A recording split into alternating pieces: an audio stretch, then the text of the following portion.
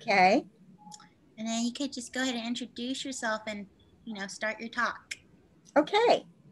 All right. Well, um, hi, it's great to be here with um, all of the people here tonight. And I really appreciate Jane giving me this opportunity. Um, I'm Marcia Montenegro, and I was in the New Age for a good 20 years. And so that's my topic that I'm speaking on tonight. I'm going to just give you a little brief background. I'm not going to go into my whole story, but my story is online on my website, uh, which is uh, Christian Answers for the New Age.org. So, you know, if you go there, um, I have my story in detail and I have a lot of articles on my articles page on different subjects, different um, New Age and occult topics. So you can just check that out. So a lot of the stuff I'm going to talk about tonight, I'll have articles on on my website. So um, my background, um, even though I grew up attending church here and there because my father was a foreign service officer, so we lived overseas, and um, we weren't in any kind of consistent pattern of church. My father was an agnostic and my mother was um, I, what I would call a nominal Christian. Um, but she thought children should go to church. So my sister and I were taken to, to various churches. And when we came back from overseas and lived in what the Washington, D.C. area, which is actually where I'm living right now, um, I went to a Baptist church uh, and I got very involved. I went to Sunday school and I went to the youth group and I went to the service and everything. Um, but I never really understood. I did not, if you had asked me what the gospel was, I, I wouldn't have known how to answer that question. You know, I, I just wouldn't have known what you meant. Um, I knew about Jesus. I knew he died on the cross. Uh, it just didn't mean anything to me. And I started questioning the Bible, the truth of the Bible, and I started just questioning Christianity. I had several friends in high school who were not Christians. And I began to just decide that I was going to pursue other religions. I was going to explore other religions. You know, at once I got out of high school, and so when I got into college, of course, I didn't have a lot of time, too much time to do that in college because I was busy but I did, I did to a certain extent read some things. I got very interested in Eastern religions in, in college. And I had already been interested in starting around, gosh, really, young, like 11 or 12 in the supernatural. Um, and why I don't know. That was not something my parents showed any interest in or had any interest in at all, especially my father. Um, but I had this this kind of burning interest in it. I had some experiences um, that made me more interested. Uh, one when I was young, and then a couple in college. And then, so after college, I pursued uh, two two paths mainly. One was the supernatural, and one was um, like other religions and Eastern religions, especially so I was going in that direction and I was interested in um, psychics, talking to the dead. Uh, I had been interested in astrology in high school, so I already had that interest. And I read a lot of different kinds of books, um, had some more experiences, and it's kind of like as time went by, I got more and more focused on those areas and I had a class that introduced me to a, a type of meditation. Um, and that meditation, um, I'm, I'm skipping over some things here to make it a little shorter. That meditation introduced me to my, my what he, the teacher called our spiritual master, um, who was basically my spirit guide. And after that, I got involved with a Tibetan Buddhist group and then I got into Zen Buddhism. And then I decided I wanted to study something that I could use to help people. And so I studied astrology. and I became a licensed astrologer in the city of Atlanta. You could do that. Oh, by this time, I'm sorry, after college, I was living in Atlanta, Georgia. I went to, to college in Florida, was living in Atlanta, Georgia. And Atlanta, Georgia um, allowed you to practice astrology legally if you had a business license. And to qualify for the business license, you had to show that you knew astrology. So you either had to take the test given by the American Federation of Astrologers, which is uh, given nationally in different cities at different times of the year. Um, or you could take the test given in Atlanta that was set up by the Atlanta Board of Astrology Examiners. And I took that test. It was a seven hour exam and I passed. and I bought my business license and I started practicing as a professional astrologer and got extremely involved with the Astrological Society. I was doing Zen Buddhist meditation, which is called mindfulness, which is now like a trend in this country. Um, and it's not, you know, mindfulness is Buddhist meditation. You can't make it secular, but it's try it's presented as a secular thing. Um, and then uh, I just continued on this path, and I was extremely involved um, became president of the Astrological Society. I was chairperson of the Atlanta Board of Astrology Examiners. I was writing for several um, New Age and astrological journals, and I was also on the Speakers Bureau of the Astrological Society. So I was speaking to different groups in Atlanta, like the Lions Club and Parents Without Partners and everything.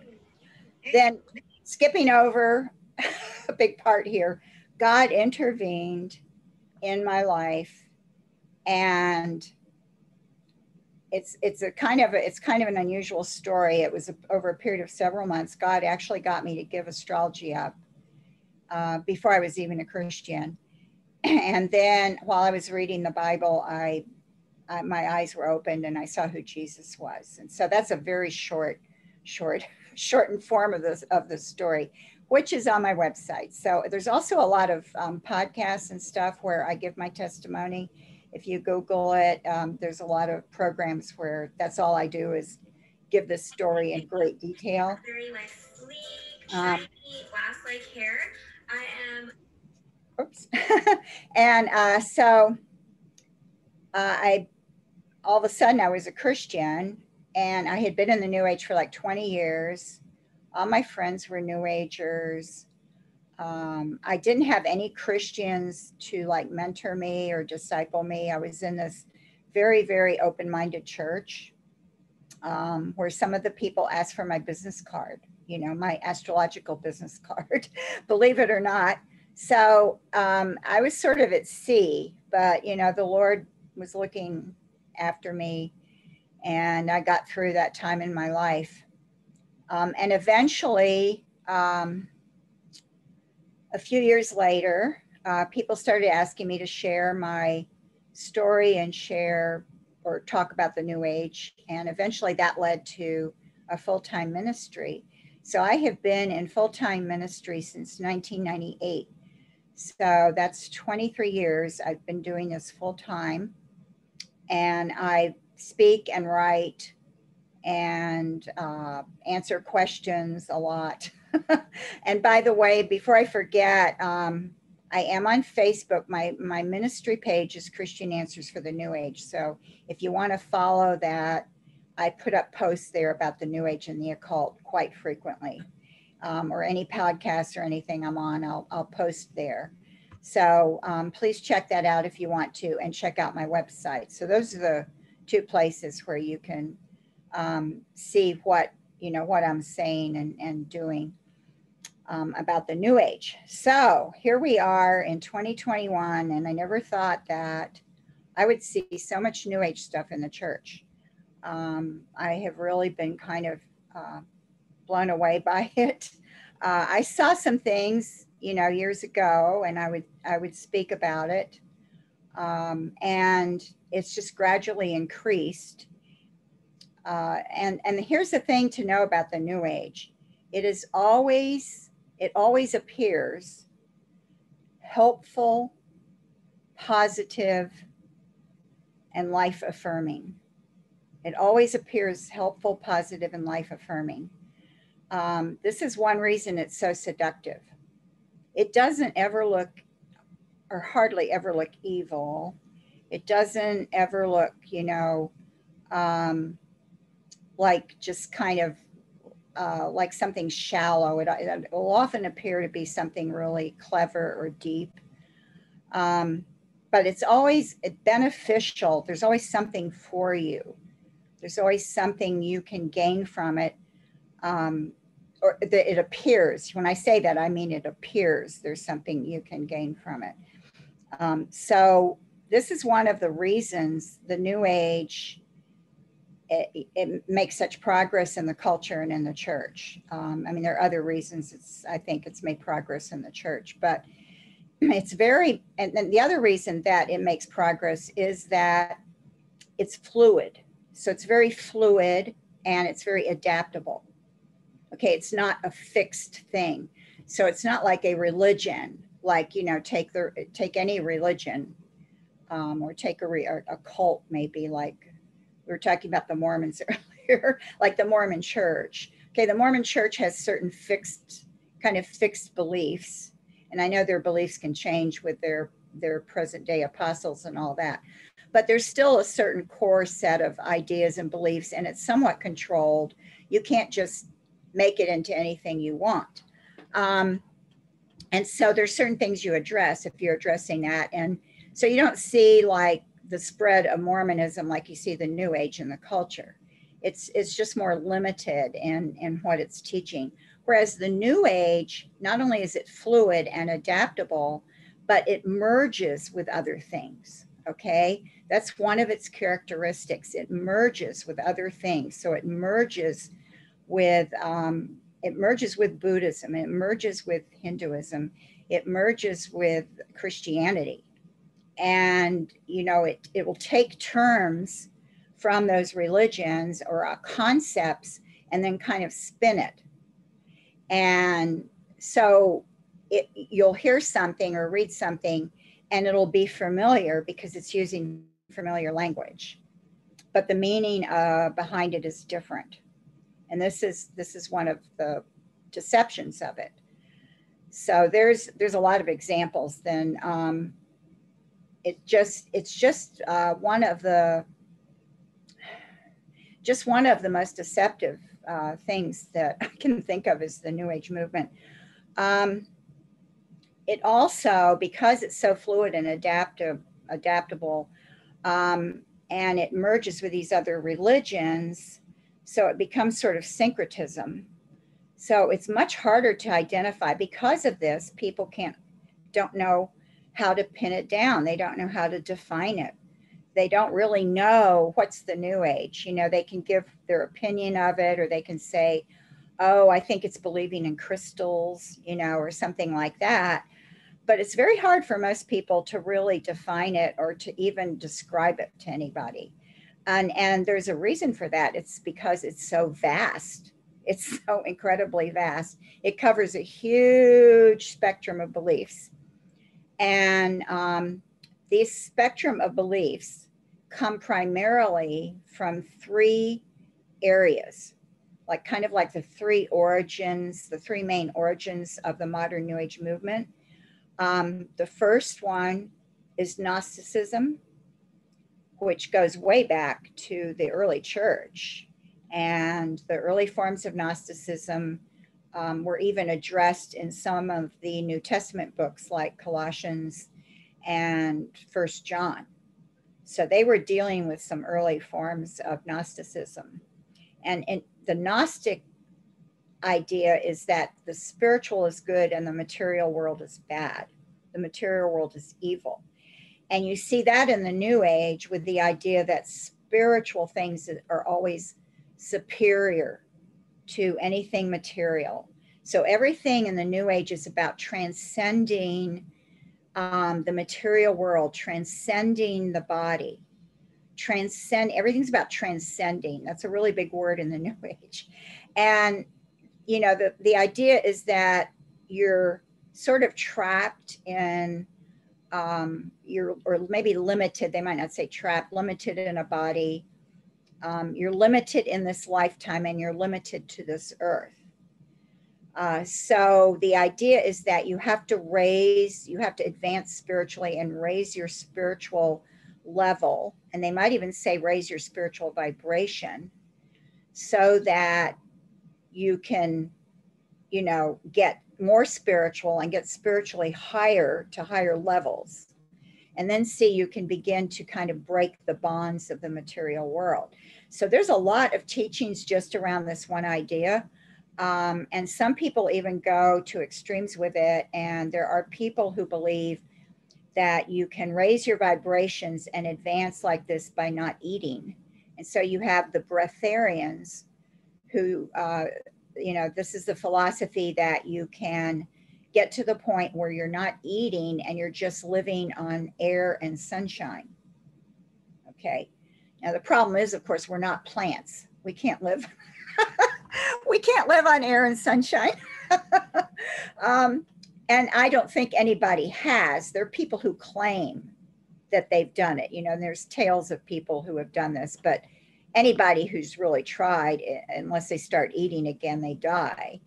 So, um, but there is this idea, and I knew someone who wanted to try this when I was in the New Age, who was very close to me. And he tried, he, he decided he'd prepare for it by just getting down to a diet of oranges and peanuts. And so he just did oranges and peanuts for a while. And then he was going to just not have food at all. But he didn't he didn't make it. So I guess he got hungry. I'm not sure his reasoning, but Uh, this is a real kind of thinking that you find in the new age. So, and this idea of raising your vibration and having a higher vibration is extremely common. So, everything's about vibration. So, there's an idea that everything is energy. We're all energy. We all have vibrations, and we're all vibrating at different levels. And the more spiritual you are, the higher your vibration. See? So, sometimes it's taught by having certain diets, like if you're vegetarian, you will have a higher vibration. If you're vegan, you'll have an even, even higher vibration. Now, I want to emphasize there are people who are vegetarians and vegans who are not New Agers. So I just want to put that out there. I did become a vegetarian. Um, I was not really fully in the New Age. I was kind of getting into it, but I became a vegetarian because of my um, animal rights activism. And that was my main reason. It wasn't to raise I don't even think I was aware of the vibration idea at the time. I'm not sure. Anyway, I'm still vegetarian because I lost my taste for meat and I have no desire. And I love animals and I don't want to eat any. so um, that's why I'm vegetarian. It's not a spiritual reason. But that is a big part of the thinking. So your diet, so certain diets sometimes are prescribed. Um, and then uh, meditating. So, meditating is supposed to help you raise your vibration. And um, when, my, when I say meditation, I should explain this. Uh, I'm talking about Eastern forms of meditation. And so there's a difference between biblical meditation and meditation, the way it's in the culture and the way it's being promoted, sometimes even in the church. So, the meditation of uh, Eastern meditation and in the culture is a technique. It always involves techniques. So, you have to um, usually slow your breathing or breathe a certain way. Um, maybe they'll tell you to dim the lights. You have to sit still. Sometimes you have to sit in a certain kind of way or posture. Um, you do all of this to uh, to get folk kind of focused. But the idea is that you are going to let your thinking mind go. So the whole idea in Eastern meditation is to stop the thinking mind. So you basically want to suspend your thoughts because thoughts are seen as a barrier to understanding spiritual truth. So if you're thinking, then you're not going to be able to understand anything spiritual. So you have to suspend the thinking mind. And the techniques of Eastern meditation are designed to do that. That's exactly what they do. So this is why Eastern meditation is so dangerous because it's really kind of a form of self-hypnosis. And guided meditation is just as bad. Guided meditation, which I'm now seeing in Christian circles, is a form of hypnosis.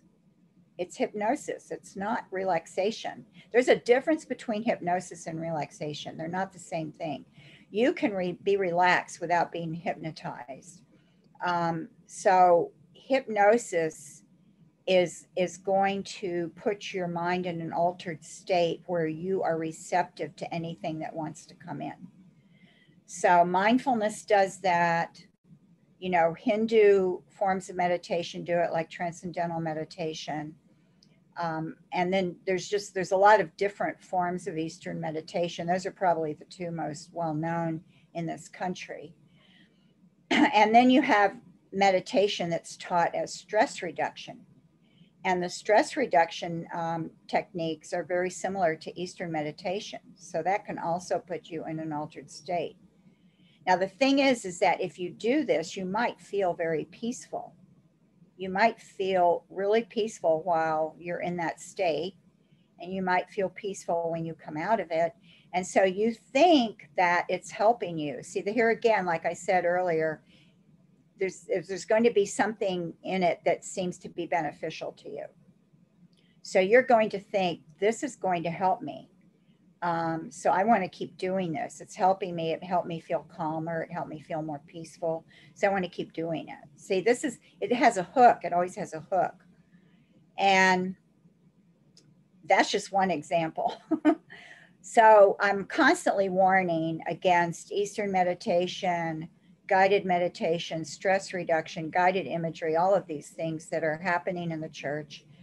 Um, there's a whole big movement. This I could probably do a whole talk just on this. The contemplative, um, contemplative spiritual movement, I call it in the church, that started with the contemplative prayer movement. Um, that was started actually by three Trappist monks, but it has spread. It spread through Richard Foster and Dallas Willard and uh, who actually both of them were friends with Thomas Keating, who was one of the three Trappist monks who started the contemplative prayer movement. I actually heard Thomas Keating speak in person in 2005 at a church here in Northern Virginia. Um, I went with a friend of mine to hear him. I was very aware of him. I had read a couple of books by him, and I had written an article um, warning about this kind of uh, contemplation and I heard him speak. His talk completely verified all of my warnings and then some. I mean, there was even things he said that were, you know, things I didn't know he thought that were even worse. so, um, and then he led he led everybody into a 20 minute session of contemplation, and I can it was like being back in the New Age. It honestly was. Now, my friend and I did not participate. We did not participate. Um, but everyone around us was participating and quiet. Some were sitting in like yoga poses. And then when he came out of his, uh, what I'm going to call a trance, uh, his voice was completely different when he came out of it. He, he had definitely been in an altered state um, that was a very eye opening experience. I do have an article on this talk on my website. So if you go to my articles page at christiananswersforthenewage.org and you look under on the left, I have topics and I have things arranged by topic. I have Thomas Keating down there um, under the K, I think. It should be under the K um, for his last name. And I have a whole article on that talk and some of the things he said and how he, he, he misused the Bible to support his ideas. Uh, and this is very common. I have found that every person teaching contemplative spirituality misuses scripture. I have yet to see a correct use of scripture. I haven't seen it yet. And I have been doing a lot of reading since the late 1990s on this topic. So we're, we're going back what's the late 1990s? That's over 20 years ago, right? We're going back over 20 years that I've been reading this material, and I have yet to see a proper use of scripture. So th- that should tell you something right there. Now, why am I why am I connecting this to the New Age? Because the techniques that Thomas Keating and his the other two monks taught, Basil Pennington, and I read books by Basil Pennington as well. And then uh, the other one is William Meninger. William Meninger is the only one who's alive, who's still alive. And he, as far as I know, he didn't write anything. Basil Pennington and Thomas Keating both wrote books. In their books, they praise Hindu swamis. Okay. Um, they think that, you know, Hindu spirituality is, is, I mean, they don't see anything wrong with it. You know, uh, it's, it's great. And you can learn from Hindus and you can learn from Buddhists. Uh, so th- this is their attitude. And I'll tell you why I think Thomas Keating has that view. Um, so uh, they accept these these things. And what Thomas Keating did was he brought some Buddhist monks into the abbey and he had them teach the monks how to do Buddhist meditation. And then he had a former monk who had become an adherent of transcendental meditation come to the abbey and teach transcendental meditation to the monks. And in Thomas Keating's book, um, Open, I think it's called Open Heart, Open Mind, he actually talks about the technique of doing a prayer. And it's exactly what I learned for Eastern meditation. It's the same technique. So, you know, I'm reading that and I'm like, he's teaching what I learned for Eastern meditation. Um, and then Richard Foster, who wrote Celebration of Discipline, and I could talk about that too. Um, he and Thomas Keating were friends, along with Dallas Willard. Actually, uh, Richard Foster and uh, Dallas Willard, uh, who had this website called, it still exists, called Renovaré, because uh, Richard Foster's still alive. and they recommended Thomas Keating on their website. Now, Thomas Keating died several years ago, so that connection is gone. But Thomas Keating had a website called Contemplative Outreach, and they they also did things with Thomas Keating. So they were they seemed to be on board with Thomas Keating. I personally think that Thomas Keating is a perennialist, and so I'm going to explain what that is because this is one of um, although perennialism isn't strictly New Age, it's very compatible with the New Age and it's a lot like the New Age. Perennialism is the view that all religions derive from the same source and they all share the same truth. And so one religion is not more true than another. They're all equally true, but they're just different paths for different people. And even though they appear different outwardly, Actually, internally, they are the same. And there is the same divine spirit or divine reality, which is what they might call God, at the center of the truth. Um, it's kind of hard to get the right words to describe what they, what they mean because they don't they use words uh, that sound familiar, but they're really meaning something else. And they're very, very, it's very tricky. We actually have a man who's a perennialist whose books are read on Christian college campuses. Um, and I was shocked to find this out because I ran across this guy, David Benner, when I was investigating the Enneagram. And um, I didn't, I didn't, I didn't know who he was. And I was curious and I started looking into him and I found out uh, he's a master teacher at Richard Rohr's school. Richard Rohr is a big part of this. And he's a perennialist, but his books, like The Gift of Being Yourself, um, and then he has a trilogy, The Gift of Being Yourself, and two other books. One is something about how to know the will of God or something, and the other one's about love. I can't remember the title of it. I read The Gift of Being Yourself, and I have an article on my website on it. And then I read another book he wrote called Living Wisdom, and that book is just out and out perennialism. I mean, he talks in there about the chakras and being portals for the spirit, and it's I mean, it's it's like New Age talk. It's unbelievable. It's just right out there. Um, but I don't think these professors or whoever Christian counselors who are telling people to read these books are aware, they're obviously not aware of his perennialism, and they obviously don't know this book, Living Wisdom, which I also have an article on my website. So this is one of my current concerns. That's why it's popping up here because I have been um, kind of beating the drum on this perennialism for about two years now. I did a number of Facebook posts on it, and then I read the two books by Benner. Because when I first posted something about David Benner, what happened was I started getting comments from people who said, Oh, we had to read that in my college class. We had to read The Gift of Being Yourself. Or my Christian counselor recommended that I read Benner. And then someone told me that he's used in a Christian counseling program at a university. And so this is how I found out that he was being read. I didn't know that. I found out from people telling me. Um, so I was like shocked. So that made me even more motivated to warn about him. So I continued investigating him and then finally reading those two books so I could expose him because you cannot be a perennialist and be a Christian.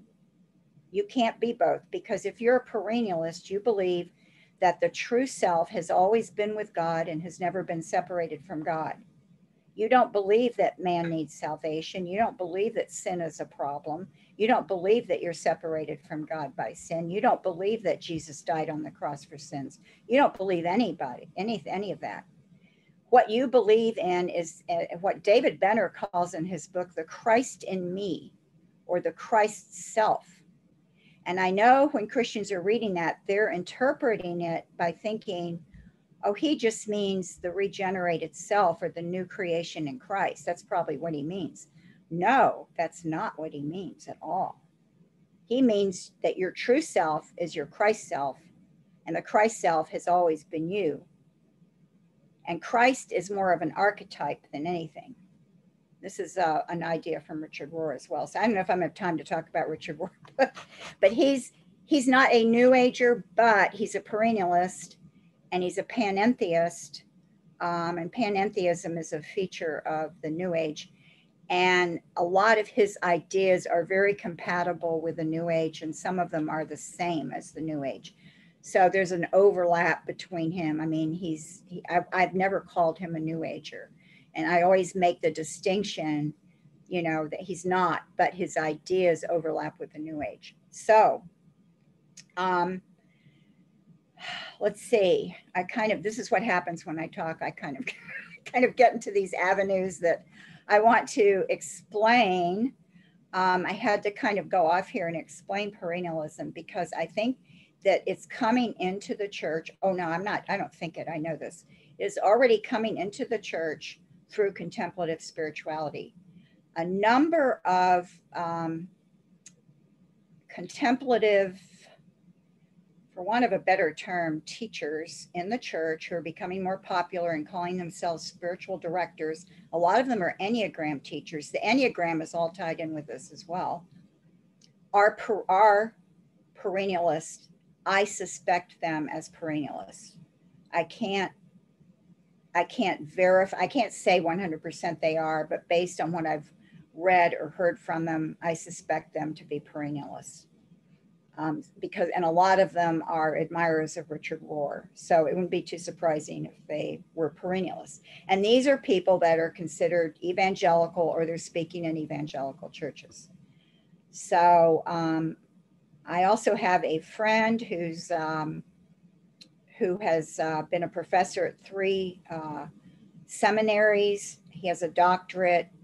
Um, you know, he's very scholarly. And he told me that he, one of his fears um, of the Enneagram is that it is bringing perennialism into the church. It's doing it through the contemplative spirituality because there's such a connection. Almost all the Enneagram teachers are into contemplative spirituality. Um, and so there's this kind of tie there. And Richard Rohr is part of it too, because Richard Rohr started it all because it was his book on the Enneagram that got it into the church. And he is very, very big on contemplation because he says contemplation is unlearning. And he thinks you need to unlearn everything you've learned about Christianity because it's all wrong everything you've learned about Christianity is wrong because you have learned Western Christianity. You haven't learned Eastern Christianity and Christianity that's the, the Christianity of the mystics. Okay, this is how Richard Rohr has put it. So the mystics in the Eastern Church have had the church truth, whereas the Western church got too rational and logical. This is just how a New Ager talks too. This is exactly how a New Ager talks. I'm very familiar with it. You know, Westerners are log- logical and they're too logical and rational, so they're you know they miss out on true spirituality because um, they're always they're thinking too much. They use their mind too much.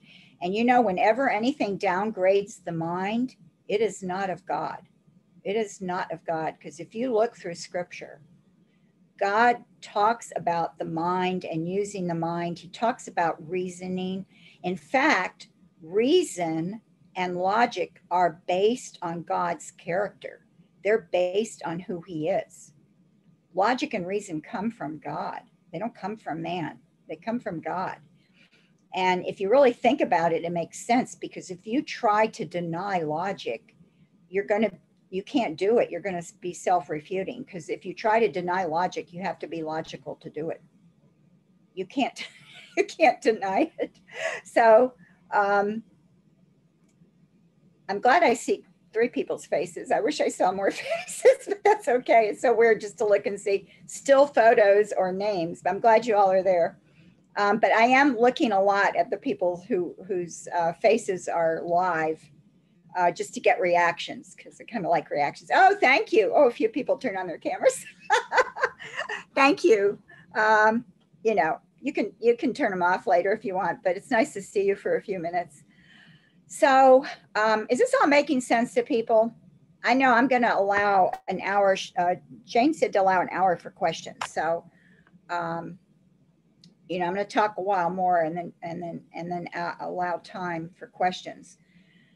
Uh, and I feel like I've just barely gotten started to tell you the truth. The, the here again, the new age is so vast. And I, you know what? I started off by saying a while ago the three areas that the new age came from. Remember that? And I said Gnosticism, and I never moved past that.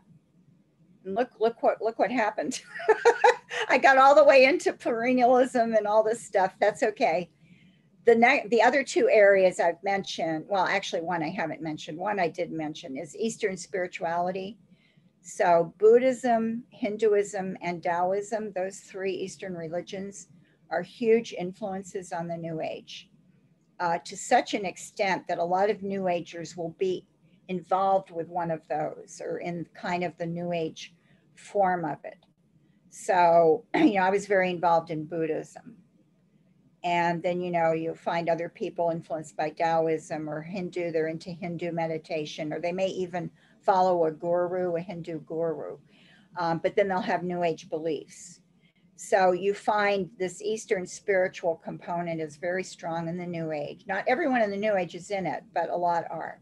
And the third component and origin is a movement called new thought. And new thought movement is a more recent thing that started mainly in the 1800s and actually started from spiritualism, which was a religion uh, about contact with the dead. And a lot of the ideas in spiritualism were picked up by some people who um, used those ideas and combined them with New Thought teachings. And basically, what New, New Thought is, and it's very deceptive because the New Thought movement claimed to be Christian claim, and claims to be Christian. It still exists. Um, the New Thought teaches that Jesus, they'll teach about Jesus and about God, but they teach that Jesus came to uh, show us that we have wrong perceptions of reality and we need to change our perceptions of reality. And this is another idea you'll hear a lot in the New Age. You always have to, you, it's always that you're looking at a false reality. I mean, this is true in Buddhism and Taoism and Hinduism as well. So the reality that you think is real is not really real. So this is a feature of New Age and esoteric philosophies. So you always have to awaken to some kind of truth. And this is this is uh, just when you hear that kind of talk, then you know you you're not in Christianity anymore because there's nothing Christian about that. Um, so you have to awaken to new truths. So in the new thought, Jesus came to tell us that we have never been separated from God and that we actually have a divine nature. So the they'll use the kingdom of God is within you, one of the most misused scriptures in the Bible. Um, and that's a favorite verse of New Agers. And New Thought uses that to say, well, see, the kingdom of God is within you. That's what Jesus said. So, you know, it's all it's all within you. You have a divine nature. Um, you were made in the image of God, and they'll take that to mean that you have a divine nature. And they'll say Jesus realized he was a man. He was just a man like you and me, but he realized his divine nature. And when he realized his divine nature, he attained Christ consciousness. So, Christ consciousness is a state of spiritual awareness where you're aware of your divine nature and you're aware of spiritual reality. And so, the term Christ consciousness, which was first used in New Thought, became adopt it was adopted by the New Age. So, the New Age has a lot of the New Thought teachings in it to such an extent that sometimes it's very hard to see the distinction. Like the, if you, you know, I've heard speakers um, that I, I consider kind of new age and they're talking and most of what they're saying are new thought ideas. So sometimes I'm not really sure, are they new thought or new age or are they combination? I'll give you an example of one, Oprah. Oprah is a follower of new thought. And a lot of people say she's new age and, and you know, I don't know. Based on what I know about her and what I've heard heard her say and everything for over the years, I would say she is pure new thought. She actually even claims that she was influenced by a book um, called the the wisdom. Let's see. Let me think. If I discover something about the discover the hidden wisdom in you. I'm not saying it right, but it's by a Unity minister named um, Eric Butter Buttermore Butterfield it's by a Unity minister who died in 2003. I can remember when he died. I can't remember his last name. She said he was uh, influenced her to realize Jesus didn't come to die for sins, but Jesus came to die so that we could learn to reach Christ consciousness.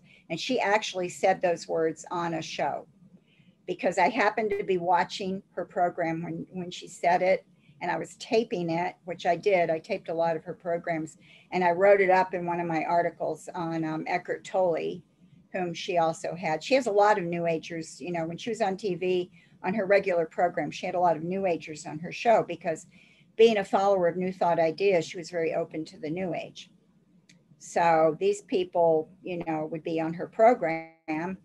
Um, and their books then would become bestsellers. So a lot of New Agers got bestsellers because they were on Oprah's program, um, a lot of them. Uh, and so New Thought and New Age are very close, and the New Age took a lot of New Thought. And I'll give you real quickly the three main New Thought churches are Unity, which how many have you heard of Unity before? The Unity Church, and and by Unity, uh, it's not Unitarian. So just some people get them mixed up, and they're and it's not the Unification Church. So they're they're all three different. Unity, um, the Church of Religious Science is another one, which is now called the Centers for Spiritual Living. They've changed their name for some reason. And then the third church, I'm sure most of you have heard of, is a Christian Science Church. All of those churches came out of the New Thought movement. All the founders of those churches were influenced by New Thought or they were New Thought leaders. And then they founded their own church. Um, and, and here's another way the New Age and New Thought got into the church. Um, Norman Vincent Peale, um, who maybe you have heard of, maybe not, but he wrote a book called The Power of Positive Thinking that came out in the 1950s. It was very, it was a humongous bestseller. And he was a minister at a very popular church in New York City, um, the Mar- Marble Collegiate Church. And he was an ordained minister, but he was a student of the teachings of Ernest Holmes. And Ernest Holmes was a co founder of the Church of Religious Science. So Peale was actually a student of those teachings. And he took the ideas from Ernest Holmes, and they're in his book, The Power of Positive Thinking, and other books that he wrote. Um, he spins them with Christian, more Christian language so that they sound um, maybe not quite so different. And that got a lot of new thought ideas into the church. And another person who did this was Robert Schuller, who was also studied the teachings of Ernest Holmes. Now, both of those people died um, a while back. Robert Schuller more recently, um, who had the big Crystal Cathedral, um, I think in California. I think that's where the Crystal Cathedral was. Yeah. Um, he died more recently. He also had studied Ernest Holmes and used New Thought ideas. And so there, these ideas got into the church to such an extent that I remember thinking when I was when I was going to church as a teenager and I was not a Christian, I thought that having positive thinking and and the power of positive thinking was something you're supposed to do as a Christian. I thought, well, that's what you're supposed to do as a Christian. You're supposed to be positive about everything. You have to be positive. You have to be, you know, yes, I can do it, that kind of thing. That was all to me, that was Christianity. And I think a lot of people thought that, and I think a lot of people still think it. so unfortunately, so New Thought has a, has had unfortunately uh, an influence on the church um, and the culture, and it's very big in our culture. Really, for example, Tony Robbins, who's a big, um, you know, he's a big uh, self motivation guy who does these big seminars, and you know he gets you to believe in yourself and you can do anything. And he, he's he's a new thought person too. So new thought is very common in American culture because it's all about the individual believing in yourself. You can do anything, et cetera, et cetera. And this is kind of goes along with our culture because it's that pioneer spirit that's a part of the American heritage. But that is not biblical. It's not a biblical outlook on life because actually as a Christian, we we need to depend more and more on Christ. We're supposed to, as we grow in Christian life, become more dependent on Christ, trust Him more, depend more on the Lord, and less on ourselves. It's the exact opposite of what this culture teaches. So we're very much at odds with this culture, but that thinking is in the church. So, um, okay, so I, I, mentioned the three big areas there, which I really wanted to do. Now, there's other influences on the New Age, like Theosophy, but um, I'm not going to go into that, uh, Madame Blavatsky and all of that. But um, those three areas were the main areas I wanted to touch on. And I wanted to give some examples in the church, like the contemplative spirituality, the Enneagram, which um, I started warning about on Facebook in 2014 um, when nobody knew what it was and people i guess you know people just didn't know what i was talking about but i kept warning about it because i saw it in the progressive church and it got into the progressive church around 2009 or so through richard rohr and richard rohr um, who's very popular with the progressives like rob bell and tony jones and um, brian mclaren who I don't know if all you guys are familiar with, but they were really big back around, you know, 2000, 2000, 2000 to 2008, and even into in the late 90s. They were very popular, and they were known as the Emergents, and they became the Progressives. And Richard Rohr and them somehow got together, and they're big fans of Richard Rohr. Rob Bell has said Richard Rohr has influenced him for years. And uh, so Richard Rohr has his Enneagram book, and you know, the progressives pick up on it. And then what happens is okay, several years go by, and then 2016, here's The Road Back to You by Suzanne Stabile and Ian Cron. Well, where did that come from? Well, interestingly enough, Suzanne Stabile was mentored for many, many years by Richard Rohr. She is a disciple of Richard Rohr, and Ian Cron is a progressive. and a crony of Richard Rohr's. Um, so the first book in the church on the Enneagram that was considered evangelical book, and it's still the most popular book, I believe, in the church, um, is written by two disciples of Richard Rohr. And the second book came out the year after by Chris Heuertz. He was mentored for many years by Richard Rohr. And on his website for that book, he thanks Richard Rohr and he thanks his Enneagram teachers and he names them. There's three of them. They're all New Agers. Why? Because the Enneagram was in the New Age first. It was in the New Age in the 1980s and the 1990s. And, and it still is in the New Age, and it's very popular in the New Age because Enneagram has no standard, it has no objective basis, it's not based in truth, it's not based in psychology, it's not based in psychological theories, it doesn't come from studies, it doesn't come from research. It's an ad hoc it's an ad hoc uh, tool from mainly from men who did spirit contact and from automatic writing. That's where the types come from.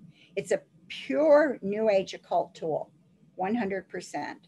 And it's in the church. And now I'm seeing pastors become Enneagram coaches and they're teaching other pastors the Enneagram.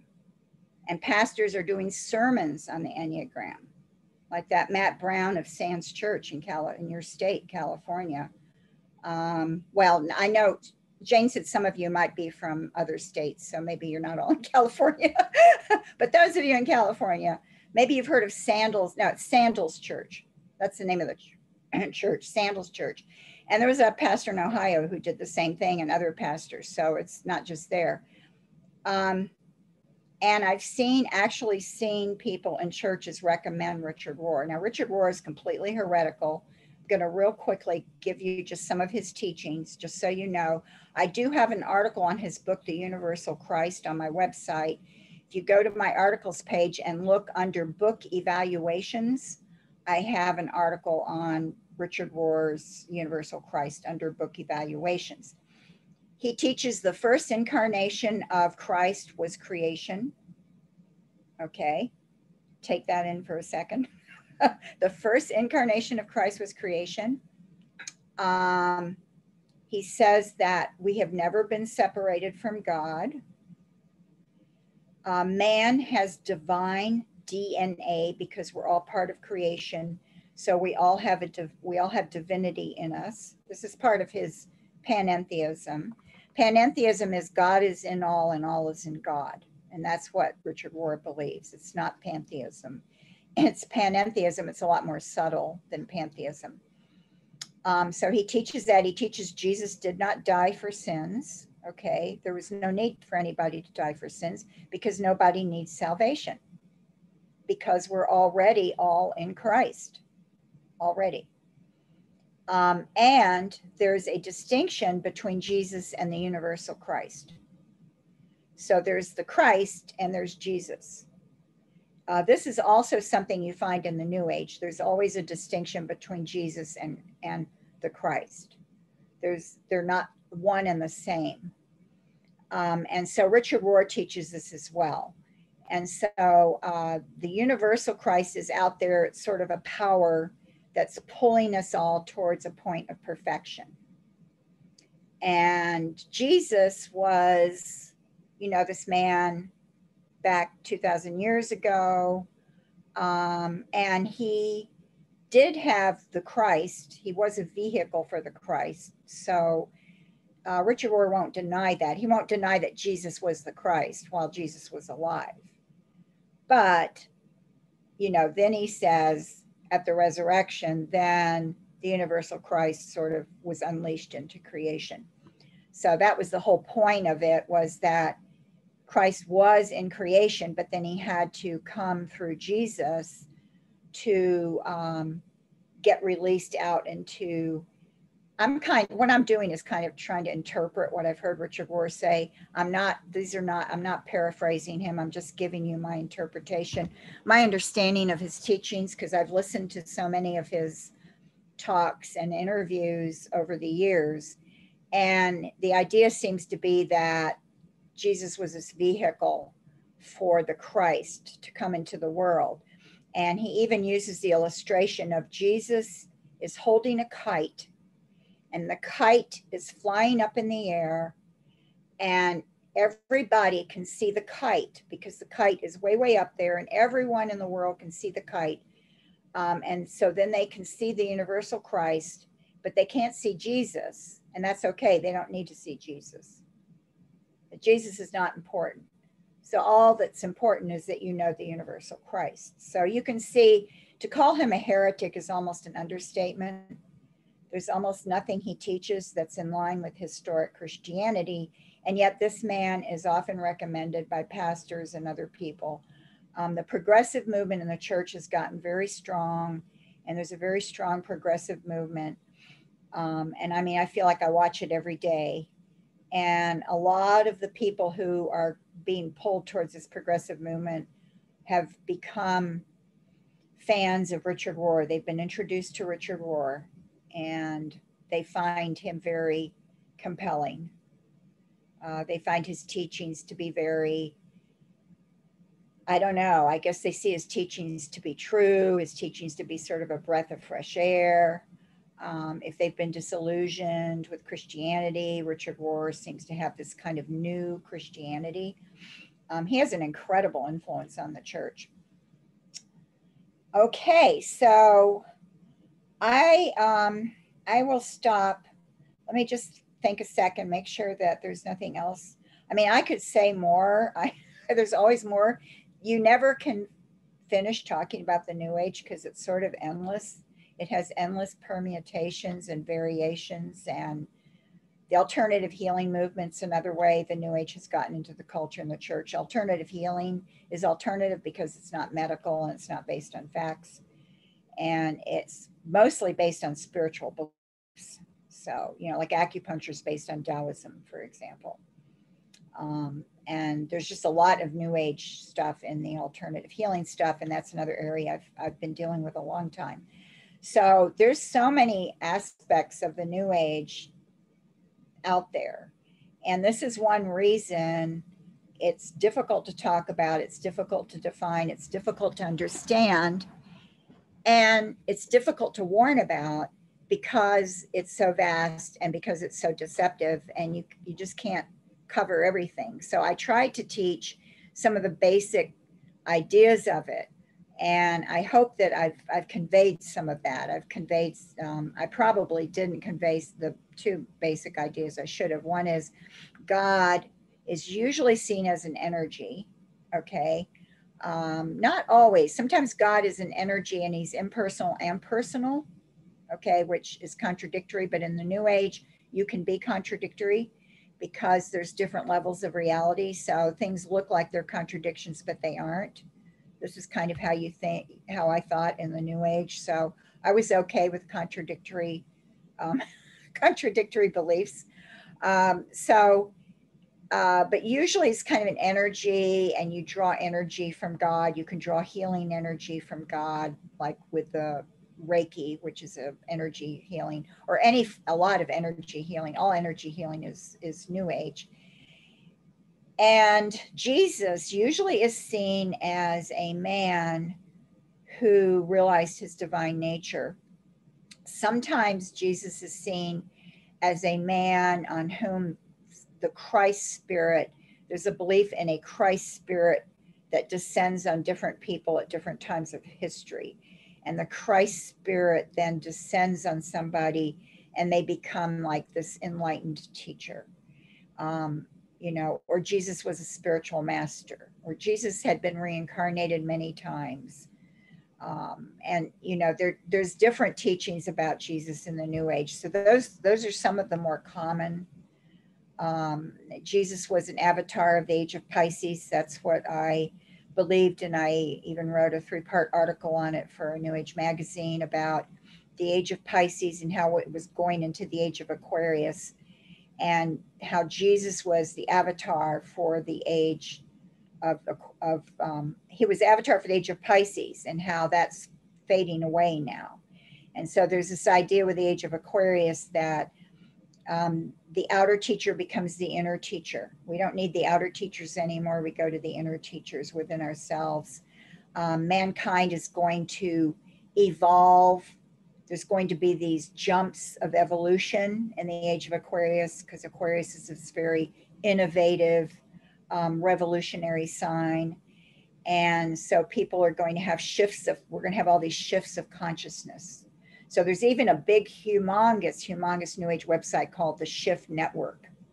If you ever want to just look at a New Age website, just go to the Shift. Just just Google the Shift Network or the Shift, and you'll you'll come across it.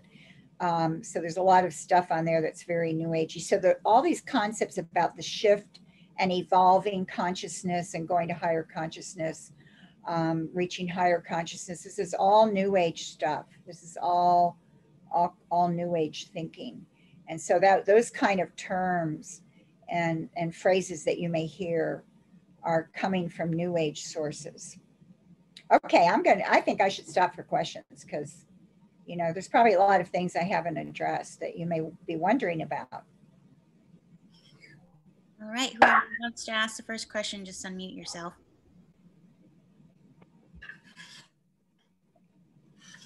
So just gonna Hey, everyone always takes a long time to figure out their questions, so I will uh, just jump in and say I really appreciate this. You know, I I remember back when I was doing youth ministry stuff in the uh, 90s and going through a lot of these conversations, had whole studies on a lot of these topics that you dealt with.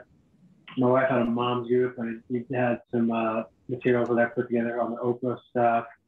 Um, and so I just want to affirm from my own experience, uh, which is not as vast as yours, uh, and just your big involvement with that, but just uh, resonate with so much what you say. One thing people think, you know, the the tentacles of what you're talking about stretch into a lot of other places too.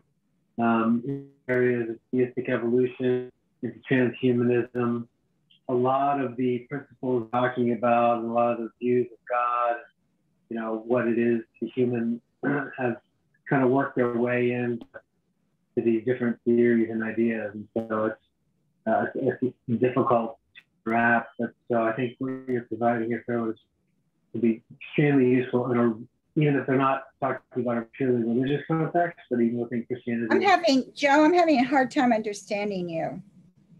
Like your words are not real clear. I, it's just something with the sound. I'm having a hard time. spiritual battle. I'm not sure I'm, I'm totally understanding everything you're saying. I got, oops, I got like a little bit of it. Uh, well, is that any better? Oh, yeah. Oh, yeah. Oh, sorry about that. Yeah, much better. I won't repeat everything. I just want to say I affirm really what you're talking about, and the tentacles of all this stuff you're reaching into are, if you know, if anyone is studying things like theistic evolution or transhumanism, um, it goes into those areas quite a bit, um, especially panentheism, process theology, those sorts of things. Mm-hmm, mm-hmm. talking about is relevant to a lot of things. So even if people aren't really, you know, into, oh, I don't, what is New Age? That's not, relevant to me or whatever. There's a ton of areas uh, that could be touched on that I think what you're saying is very relevant. So I just wanted to affirm that and just appreciate your talk and your experience and expertise. Thank you so much. And I'm glad you said that because I did want to say a lot of people will say, oh, the new age is just, it's not here anymore. I think several years ago, someone said, oh, the new age is just, you know, some Christian said, the new age has just faded away. It's not around anymore. And it's actually around more than ever. The, the, the reason people think it's gone is that it has, it has mainstreamed. And so, and it's merged with other things, with sports, you know, with, with, with healthcare, um, with, uh, I don't know, education, with all, all kinds of areas. And so people think it's gone when it's actually merged and it's been so slow it's kind of inched its way in that people aren't aware of it and because they don't really know what it is they they don't recognize it. So i, I appreciate what you said joe. Thank you. Somebody else got to have a question i'm sure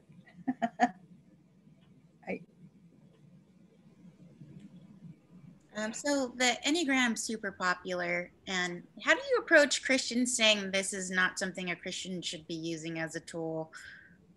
yeah that's and that's that can be really hard too be- especially if the person's been using it and they really say that's another thing you'll hear people say oh it really helped me you know, it helped me in my, my, it helped my marriage or, you know, it really helped me understand myself or something like that. Um, yeah, this, and the thing is, the way I usually answer that is I say, but you know, all of my astrological clients told me astrology helped them. All of them said it helped them, even some who were skeptical at the beginning. Um, you can ask, there's thousands of people around um, the planet who believe in astrology and will tell you that it helps them, that it guides their, you know, guides them. They use it for a, maybe some of them use it for a daily guidance. Uh, it's very easy to believe something is helpful and something is true because of, of, of confirmation bias. Um, there's something called um, something validation. It's a self validation or something where you make connections between something uh, that you think are there to validate it. And uh, there's the Barnum uh, Barnum theory, which is that general descriptions will fit a lot of people, but when you're reading it, it seems very specific to you. So, in, in fact, the Enneagram works the same way astrology works, works exactly the same way in terms of how people believe it and why people believe it. What I usually um, you know, it depends on the situation and if the person's asking me a question or if they're just challenging me, which is usually more like it, or arguing with me, I usually say, "Do you do you realize that there is no um, psychological basis for the enneagram? That this did not come from any psychological group or psychology or psychological study." Um, sometimes even if you say that though, they'll say, well, I, you know, I don't care because it helped me or something, you know, and I, you know, I want to say if this is supposed to be a way to understand yourself, shouldn't it be based on something? It should be based on something objective. It should be based on theories or it should be based on studies or research. And of course, it's not. It's not based on any of that so I try to point out that it's not valid. It's not it's not seen as valid in the professional world of psychology at all. And um, when you find psychologists or psychotherapists who use it, they're usually new agers or they're progressives or they're or they're people like Ian Cron, who's you know a psychiatrist but who's a an ally of uh, Richard Rohr. So they're spiritually deceived. Um, so I usually try to point out it's invalid, and then I try to talk about how uh, what it comes from mainly are two men who did spirit contact. I mean, the Enneagram existed first just as a diagram of um, what George Gurdjieff called uh, cosmic reality.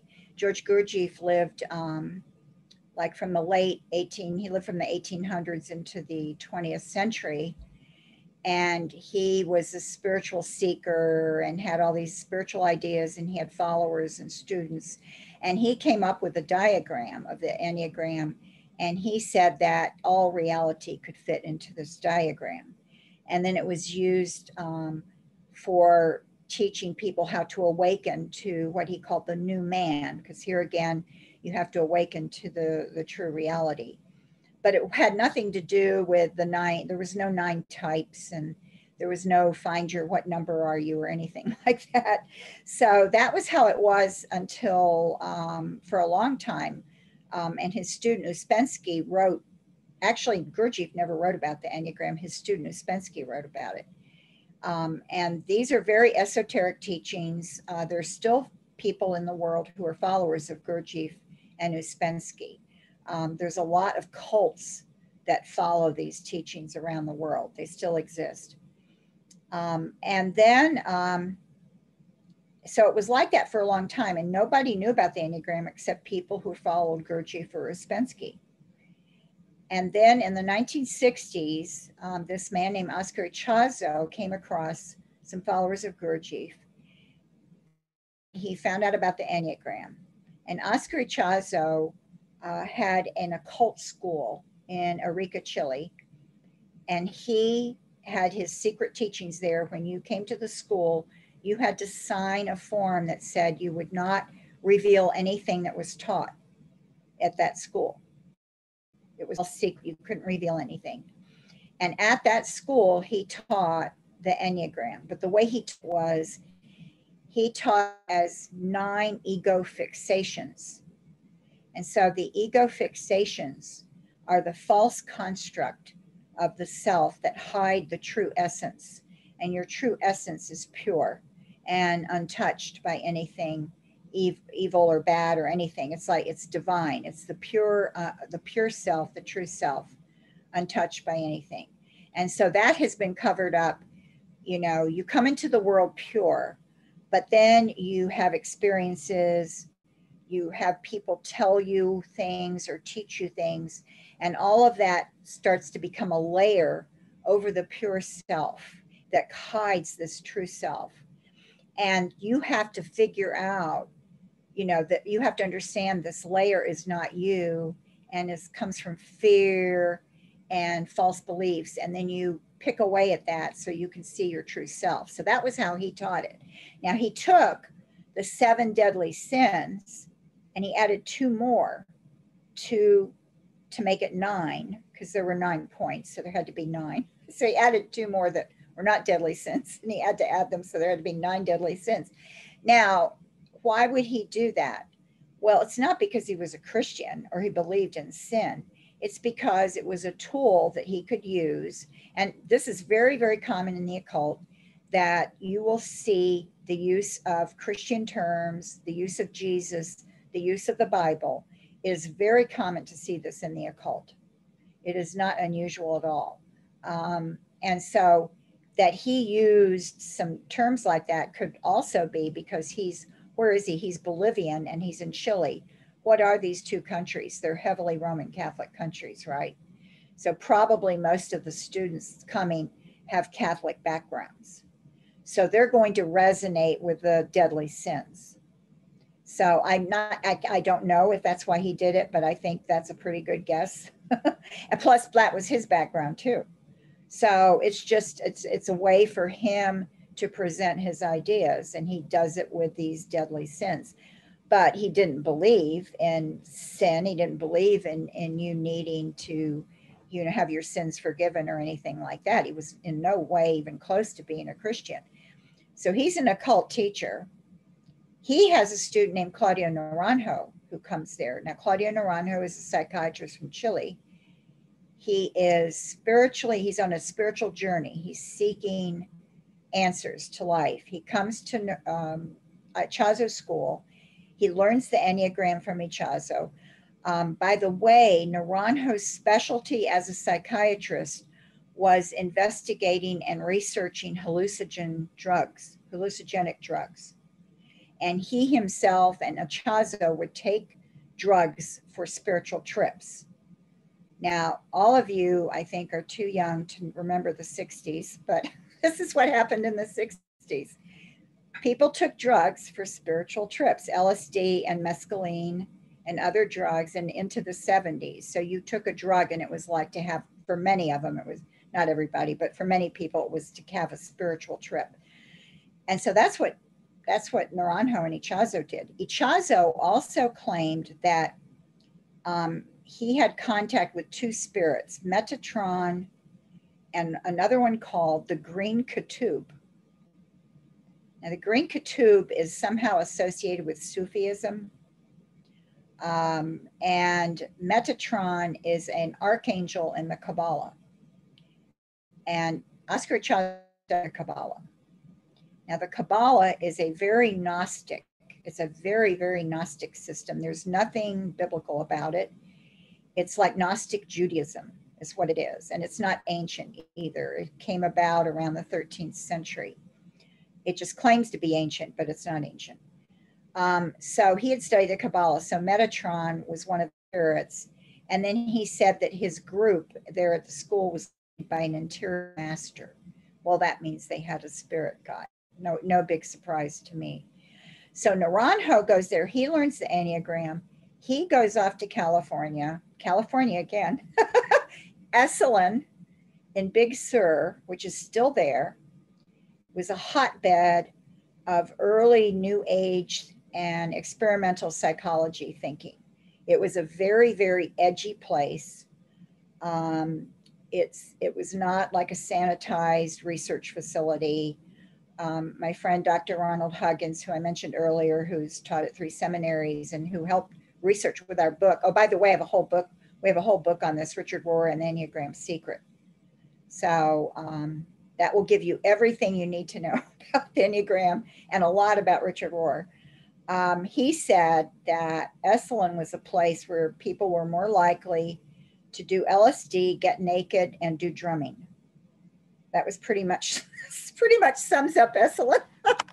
so you had all these spiritual type teachers and and and edgy psychologists gathering there for classes, and it was a very like, you know, I, I can kind of imagine what it was like. I mean, I you know, I just really can. Having been in the New Age, I, I have a good idea of it. Some stories I've heard and he was there and he started teaching the Enneagram there at Esalen. And there was a Jesuit named Bob Ochs who was there. And he and the Jesuit, this Jesuit learned the Enneagram and took it to a seminary, Loyola Seminary in Chicago. And that's how it got into the the cat. It didn't really get into the Catholic Church. It got used by some Jesuits and at some retreat centers. The Catholic Church never endorsed or approved of the Enneagram. Uh, and so it was being taught by Catholics. And at the same time, it went to Helen Palmer, who was a psychic.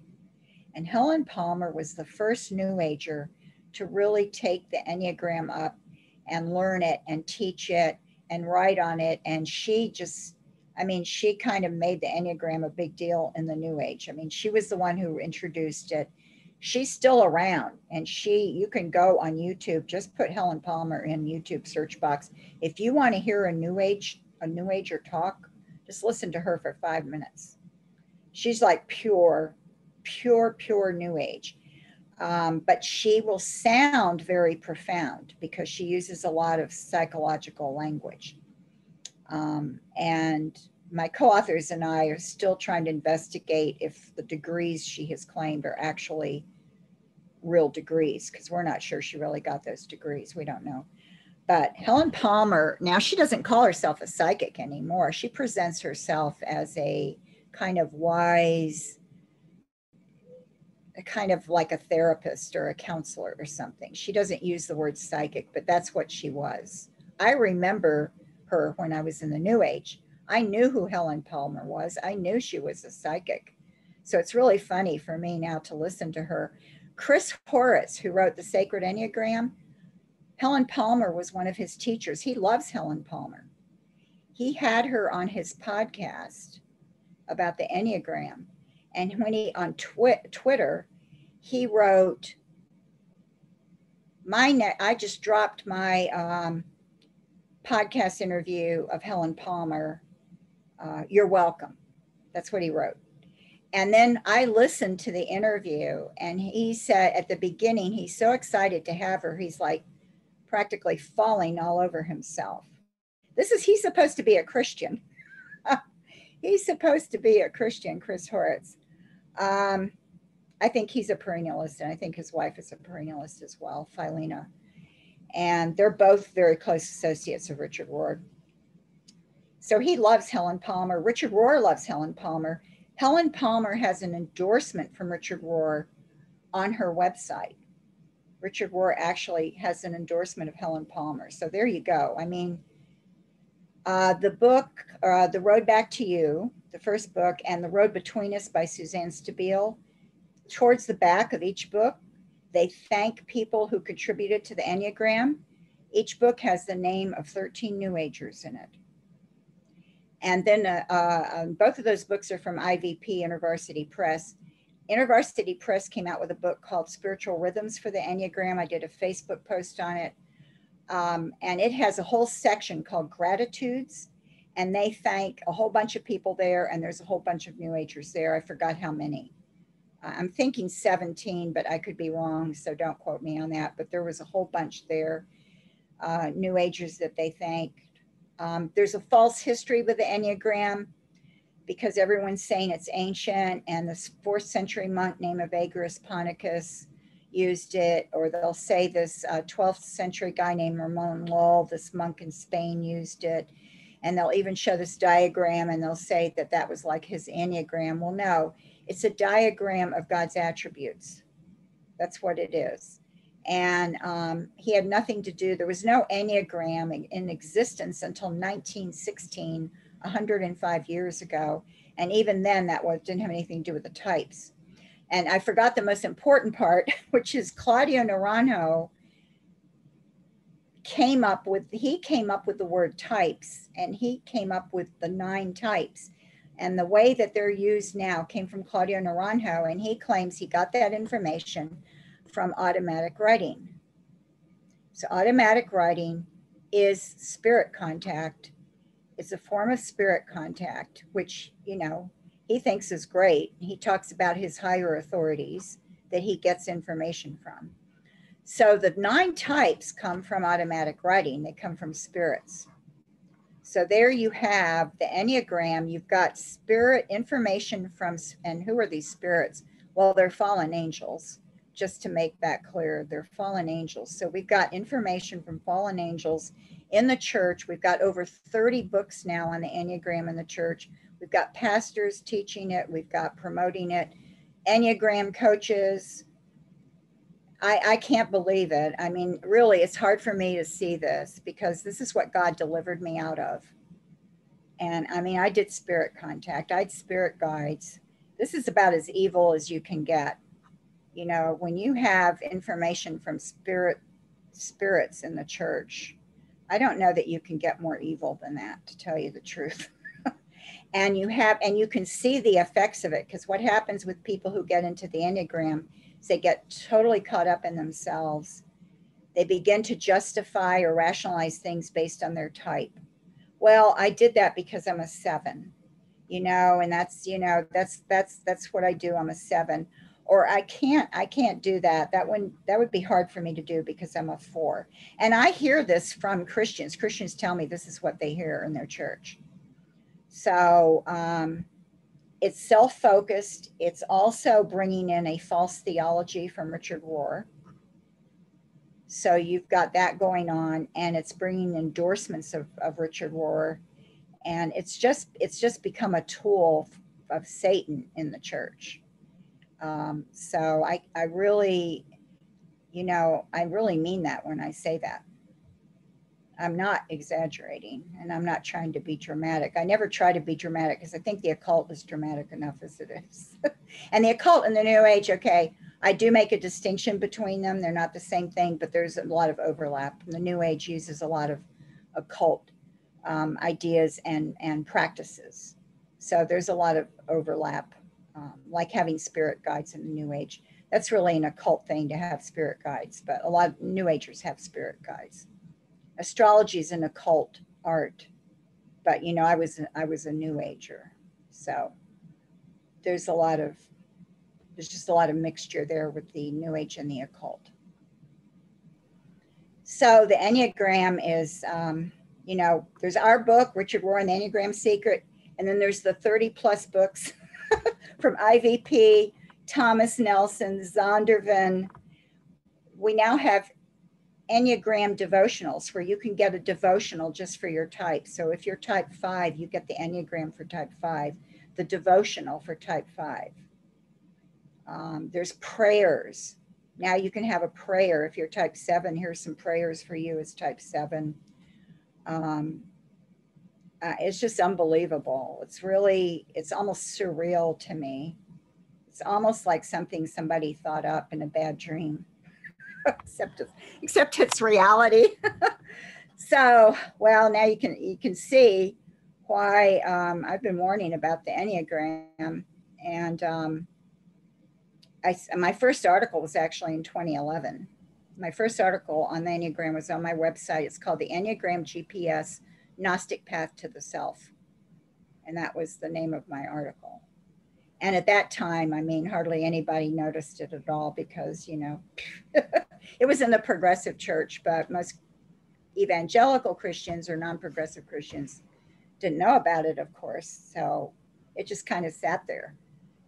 Um, but anyway, so question. There's got to be other questions. You've got to wonder something or anything about anything I said. Do you have questions on anything I said? Yeah. So I think I'm. I have questions, and then up next is Daniel and Caitlin. Okay. Um, but uh, you kind of answered a lot of my questions, which is great. Um, Oh, really good. appreciated that. So thank you. oh, good. Um, I think, I think um, I'm trying to decide if I just want to punt it off to Daniel and Caitlin, but I think I would love to ask, like, I've, um, my parents are are um, very sensitive to the spiritual world, and they've always been very like uncomfortable with certain things that a lot of my church friends were always like so okay with. Like Halloween to them was like like they stayed away from a lot of things and i was like but like other christian people do these things over here um and so one question i have for you as somebody who's like who has interacted in the spirit world and in new age with like spirit contact and all of those things as um like how how does it affect somebody who is ignorant that that's what they're doing? Like if they don't know that they're contacting spirits and they don't know like i think a lot of people who are christians and a lot of young people who are like interacting with the enneagram like see it as like myers-briggs. Like they don't even know that it has implications and they might not even make it self-centered for them. They just might be like oh this is a way my friends talk about their introversion you know? Mhm. and that's fine but like is there is there a danger for that person or is it very contextual to like the person's heart or um, how they're interacting with the information or if they want something from the information and like how does like how does the spirit world interact with people who are kind of more ignorant of the situation i guess is my question and i don't know if that's Okay. one you can answer No, no, it's no, I, I, I, I think I understand what you're asking. And, um, okay, I would say, first of all, just to make it clear, I don't think using Enneagram means that you're doing spirit contact. Okay. If you use a Ouija board, yeah, then you, you may have spirit contact. Um, and so that would be more a direct way of doing spirit contact, or you go to a medium who says they'll call up, you know, your dead grandfather or something.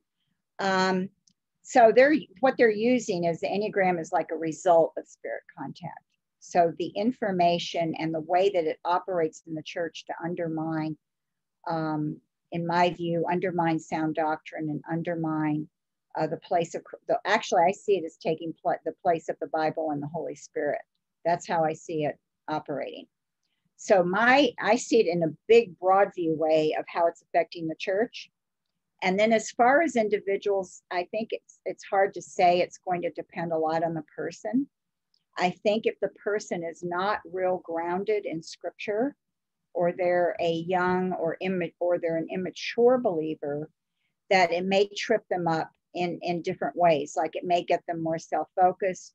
They may get interested in Richard Rohr. Okay, I've had a few Christians tell me that when they were reading Enneagram books that mention Richard Rohr, they got interested in him and they started reading him, not understanding how heretical he was.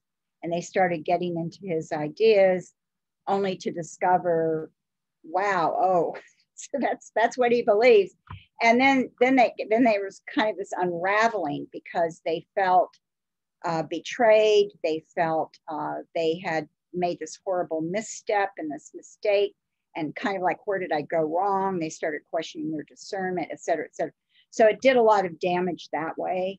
Um, some people may actually get into Rohr and find him interesting and continue to pursue it. Um, so I think it depends a lot on the person. So I try not to say, I can't predict or even say how it's damaging an individual unless I'm talking to that person or or they're or they've told me how it's affected them. And I have had Christians tell me how it's misled them and affected them. Um, there's a, a pastor's wife. Well, she was a pastor's wife when she got into the Enneagram. She did a, I did a program with her on Doreen Virtue's channel. Uh, Doreen Virtue was really big in the New Age. She was huge. Um, she did angel books, angel contact, and now she's a Christian. And this woman, um, Jill Lancour, uh, got into the Enneagram and she got the women, and she was the pastor's wife. So she got the other women into it. And she said it got to where it was all about everything was about the Enneagram. It was like now I have to know what my children's types are, you know, and I know my husband's type. And oh, your husband's type is a four. Oh, my husband is a is a four too. You know, she said it became that's she said that's what they talked about. It it like overrode the Bible. The Bible, the scripture, kind of took second place.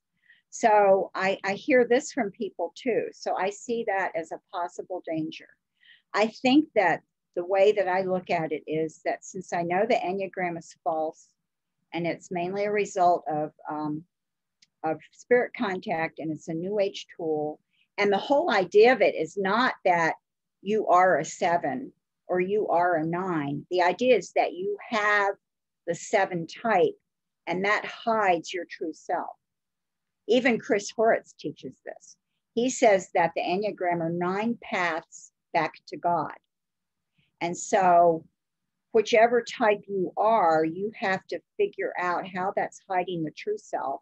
And he'll talk, he talks about the true self and the essence. Um, and that's who you, that's what you're supposed to discover with the Enneagram. That's the purpose of it. It's not to discover your personality type. That's not, that's not the purpose of it and see a lot of the a lot of the ways it's being spun in the church is that this is like a personality assessment and that's not what it is at all it's to uncover the true essence of who you are the true self so i also try to make that point when i'm talking to christians about it and if you try to use it the other way well you're, you're not using it the way it was designed it's not like it's not myers-briggs which is supposed to be about, and I'm not saying it's valid because it's not really valid, but it's not considered valid by psychologists either. They don't think any personality test is valid. They're just, you know, they're, Jordan Peterson talks about the big five uh, groupings of personality traits, and he's come up with a test so you can see, I think, which grouping you're in. But he even has a lot of reservations about it. Um, so Myers Briggs isn't even really valid, but at least it's not a spiritual tool. It's not making spiritual claims like the Enneagram. So the fact that the Enneagram is making spiritual claims and has this hidden agenda in it is why I see it as dangerous. And I think it can damage some people in different ways. I don't know if I answered your question. Did I answer it? Good. Okay. Yeah, no, that was very helpful. Okay, good, good. I'm glad, Sarah. Okay, I think what Daniel had a question. Yeah. So my question was kind of random. It's just you mentioned Dallas Willard, and I'd never heard anything negative about him. Yeah. I don't know a lot about him. Like I haven't read his books or anything, but I have a friend who likes him, and uh, everything he said it didn't seem wrong. So I guess I just wondered, is that something you would bring up, like to be wary of him, or? Yes, I you know, I think that probably in his younger years, he was very much um, more in, lo- in line with basic traditional historic Christianity, but I think that he veered off later and he got into, he really got into mysticism. Um, he, there's a couple of very good on, articles online about him that that I would have to send you the links to because I, I can't think of the names of the articles or the writers where they really go into more detail because I don't feel like I'm an expert on him. I mainly know him from his association with Richard Foster and Thomas Keating and the fact that he was endorsing uh, these ideas from contemplative spirituality, which I see as contrary to the historic faith and contrary to sound doctrine. So um, I think he became very experience oriented. Now I read part of his book, um, The Spirit, Spirit of the Disciplines, I think is the title. I found it extremely spiritually heavy and confusing. It was very, it was just heavy. And it was like spiritually and emotionally and psychologically and mentally heavy. and he he seems to talk about the yoke of Jesus is the disciplines. And I'm like, what? What? He gets into this idea of the disciplines. Now, spiritual disciplines is a term from medieval monasticism. It's what the monks did. Why are we doing something taught in the 13th century to monks? You know, I, and I don't see scripture for it. Now, people say, oh, well, prayers, it just, yeah, we are supposed to pray. Now, it depends on how you're going to define discipline as to whether you want to call it a discipline or not. But, you know, it's fine to be disciplined in your in your life as a Christian. But I don't think there has to be a system set up for it that you're supposed to follow. I think that's what bothers me. And people say, well, here's this discipline, this discipline, this discipline, and, and this is what you do. And um, I, uh, I find it kind of legalistic and burdensome because hmm. I feel like if you're studying and, and reading scripture and you're, you know, hearing good sermons and you're praying and everything like that, you're just living the day to day normative Christian life and striving to yield to the Holy Spirit, that's all going to work itself out. You don't need to follow some kind of program.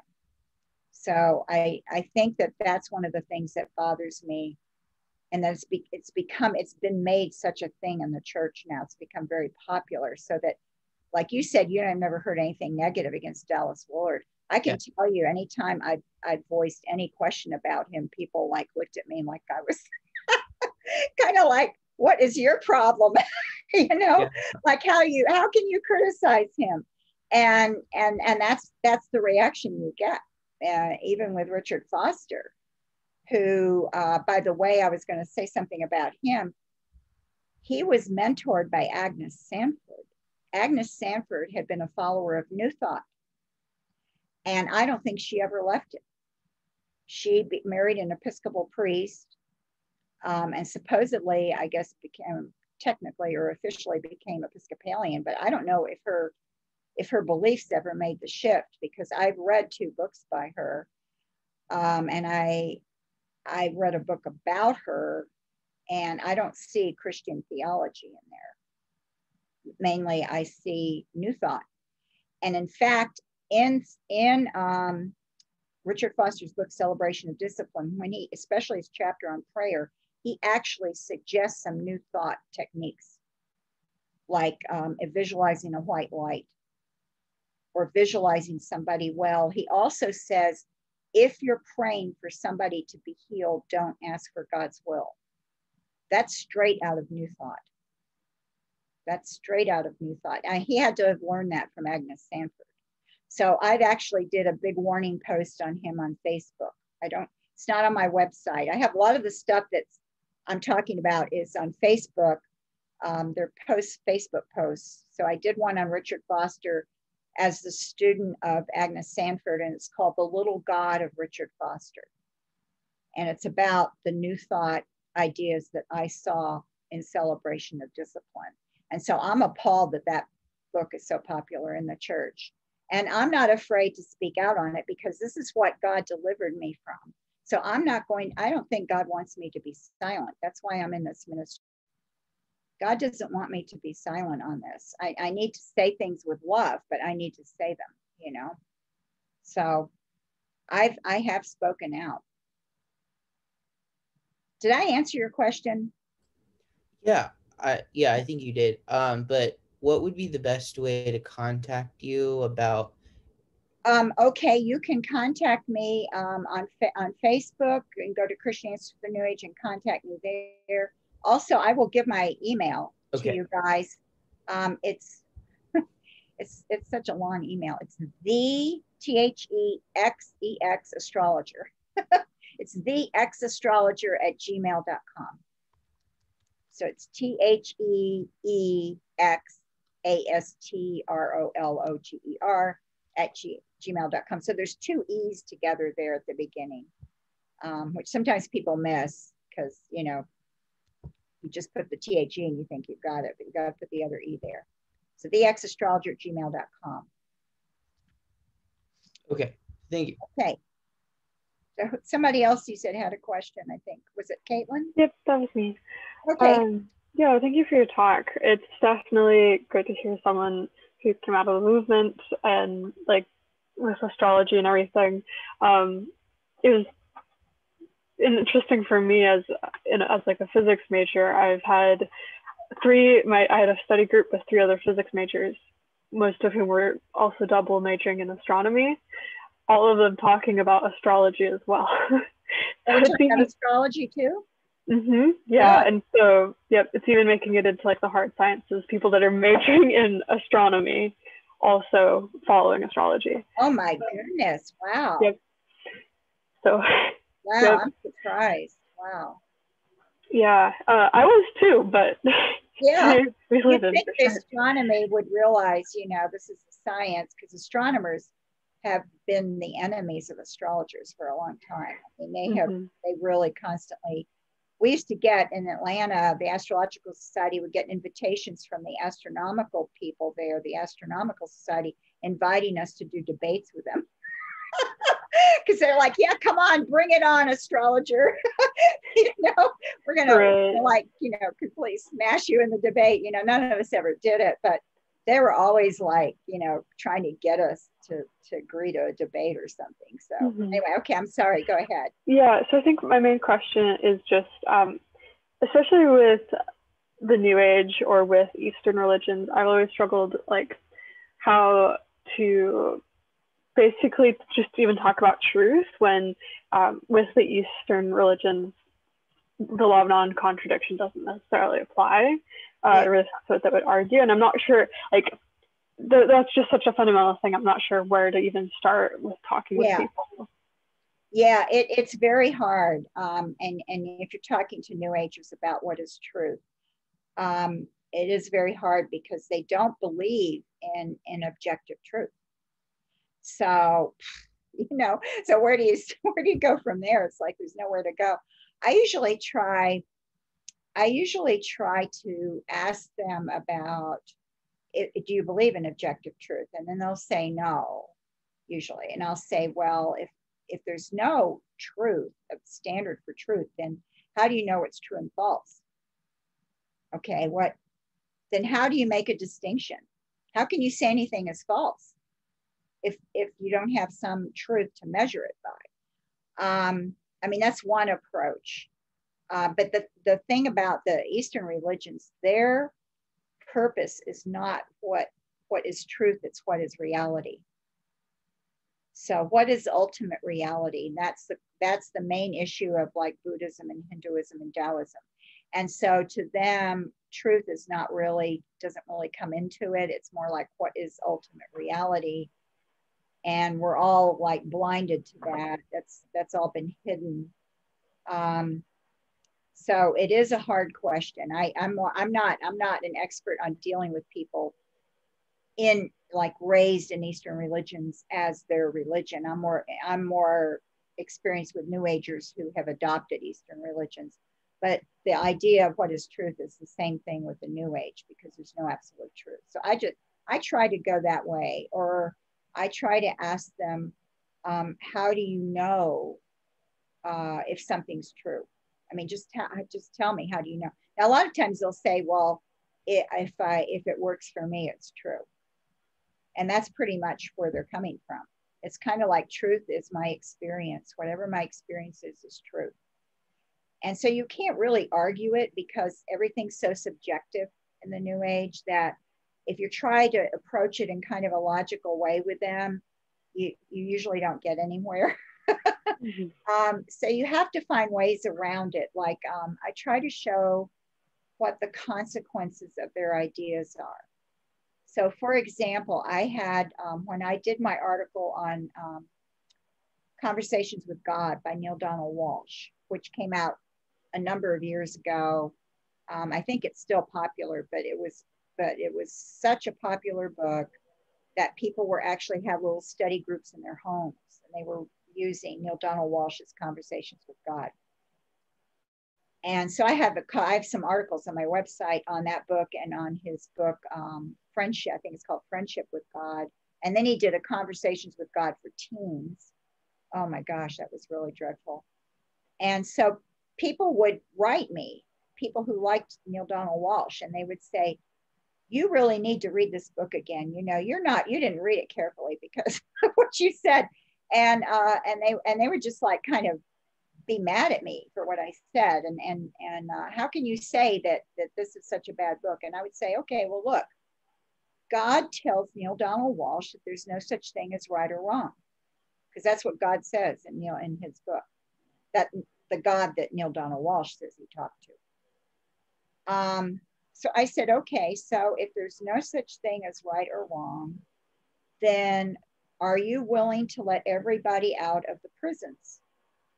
Like, how about all the people that are in prison for murder? Should we just open the prison doors and let them out? I mean, is that okay with you? I mean, see, I just I want them to see the consequence of this idea. If there is no such thing as right or wrong, then let's let's take that and let's put it in action okay? Is somebody steals your car is that is that okay? Are you going to call the police? You know you bring it kind of you kind of have to bring it down to earth with them um, and you can get a con you can't you might just make them mad but you might get them to thinking too. Right so like if if they are as are mainly focused on from like an eastern perspective like what is ultimate reality we could ask like could you be wrong about what ultimate reality is or if there's multiple layers to what ultimate reality is then um, does it matter if i steal your wall like yeah yeah yeah or yeah you could say that and you and you could say well how will you know that it's reality when you find it what if you don't know what mm-hmm. it is or we don't know what it is then how are we going to know what it is when we find it how are we going to recognize mm-hmm. it um, right. and why is it that we don't know what it is you know, just ask like really basic questions about it because a lot of times, and I know this was true for me in the New Age, I didn't think these things through. You know, and I, for example, I believed in reincarnation. And I thought eventually, you know, you spiritually progress and progress, and eventually you don't come back anymore. Okay. And you kind of merge with the God force or the God energy, and you lose your individuality which actually to me was not a very comforting thought that I would lose, you know, my individuality. But I figured, well, when I get there, you know, I'll be advanced enough that it'll be okay.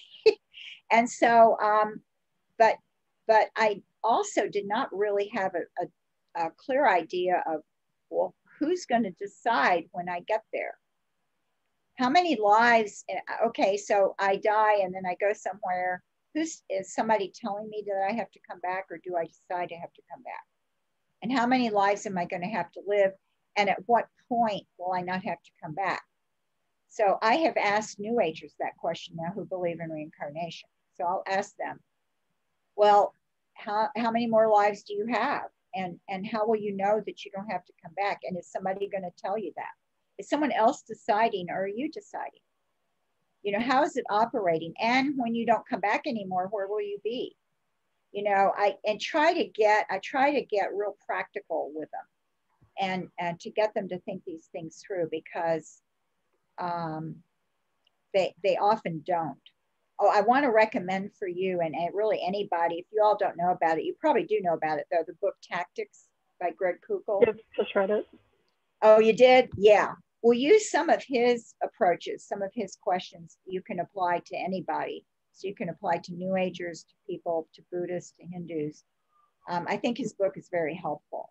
Um, and so you, he gives you good ideas of questions that you can ask, you know, well, why do you think that? And um, what makes you think that is true? And that kind of question, they're very kind of open-ended questions. So the person doesn't feel, you know, attacked like you're challenging them but it's making it's having it's causing them to have to come up they're going to have to think to come up with an answer. Or maybe they'll just think through what they believe more. So i don't know if i helped you or not caitlin. That's because that's a hard one. I admit mm-hmm. that's a that's one of the most difficult things i think to discuss with with a new ager or somebody into eastern religions asking them about truth. Now i will tell you a, an example that's similar is that I one time asked, um, I was giving a talk at a college in Maryland and the, um, sponsored by university. and they had invited the pagan uh, student union to come, and the pagans were all there, and um, and some others and Christians, and uh, and president of the pagan union actually was there with a group of them, and so I was my talk was the um, uh, the distortions, or maybe not the distortions, the wrong thinking of what Christianity is, and the wrong thinking of what um, uh, paganism and neo-paganism is. But so at one point I asked them, I asked them, uh, okay, do you believe in do what you will, but do no harm? And they said yes, because that's like the motto for Wiccans and witches mm. anyway. So I said, do you believe that? And they said yes. And I said, how do you determine what harm is? Well, one of them said, well, you just don't want to hurt anybody physically, mentally, or, or spiritually. And I said, Yeah, but how do you know? How do you know if you've hurt them uh, mentally or spiritually? I said, What's standard there? Um, what's it based on? They, they had no, they had no answer.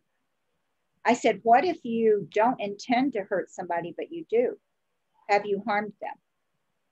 And then I gave them an example. I said, What if you were in India and you were in a little town in India where they still practice widow burning and they throw the widow on the funeral pyre of her husband? I said, um, Would that be okay with you? And they were like, No, no, that's not okay. And I said, But who are you to tell them that that's not okay? Because they think it's okay. In the traditional Hindu view, that the British tried to stamp out, but I heard it's still done in some remote areas. I said, I said, who are you to say that's wrong? You shouldn't do that if they think it's a spiritual thing. Well, they don't have an answer because there's no, they don't have any absolute standards for anything. So they may think they can deal with it here or in their practice, but then you go to India or somewhere else where something's happening they think is horrible then they find if they're going to apply their standard everywhere, they can't say anything to the Hindus. See, so you kind of do you kind of do things like that to get people to look at things a different way. Maybe bring up a situation or something and ask them what they would do in that situation. Well, I guess that my time is up. Yeah, looks like we're out of time. So I guess that's the last question. Thank you so much, Marcia. That was a lot of information. yeah.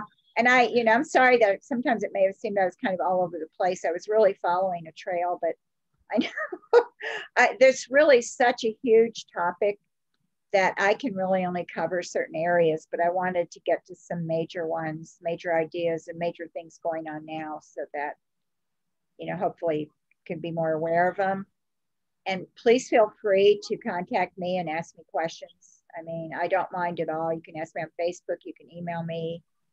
You know, I mean, that's part of what I do. So you're not bothering me by asking me questions.